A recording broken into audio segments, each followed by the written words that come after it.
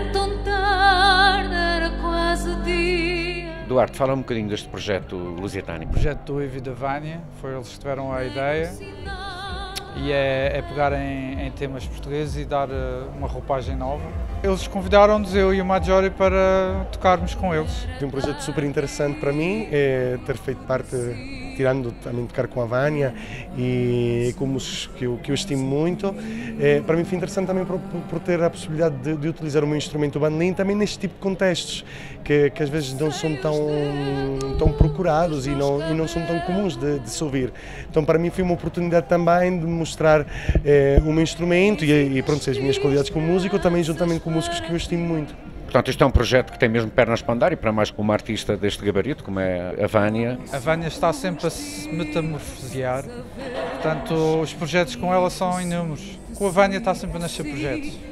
Portanto, é, é interessante na mesma. Estou a trabalhar com músicos fantásticos, gente maravilhosa que, que faz muito bem a sua arte, uh, toca muito bem, cada um no seu instrumento, e depois tem um grande amor pela música, têm, têm todos uma grande sensibilidade, têm todos uma grande criatividade.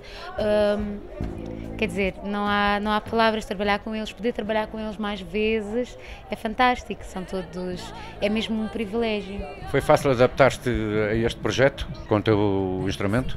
Existe uma grande amizade entre nós e quando, quando uma, existe a parte humana, obviamente foi, foi, vem tudo naturalmente, me adaptei bastante bem também, e, pronto, e foi a minha contribuição também juntamente com pessoas que eu estimo, como eu dizia. Projetos futuros? Projetos futuros, agora estou trabalhando no meu projeto a solo e, e espero continuar a contribuir assim com com, músicos como eles, pronto, a, a, levar à frente este projeto Lusitânia, que acho que é extremamente interessante como oferta para o público.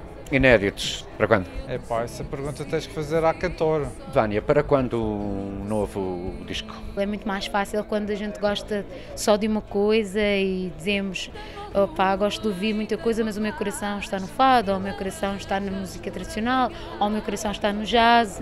Os discos para mim são, são, são um cartão de visita, não é? A indústria também assim o exige portanto acho que vem naturalmente quando for para acontecer vai acontecer. E o que mais importante é fazer espetáculos. Isto, isto é, que, é que se faz aqui é que se faz a magia acho eu. A Vânia teve esta ideia de dar roupagens novas às músicas portuguesas. Chamou-nos e cada um dá a sua, a sua interpretação pessoal e os quatro juntam-se e, e, surge isto, não há, não há grandes complexidades. O projeto Lusitânia é o resultado, o fruto do amor muito grande pela nossa música, pelas nossas raízes e uma vontade de dar o nosso contributo e a nossa versão, eh, a nossa criatividade, a nossa o nosso contributo, no fundo, é esta música que faz parte de todos nós. A música faz-me. é a minha forma de expressão, é a minha forma de estar.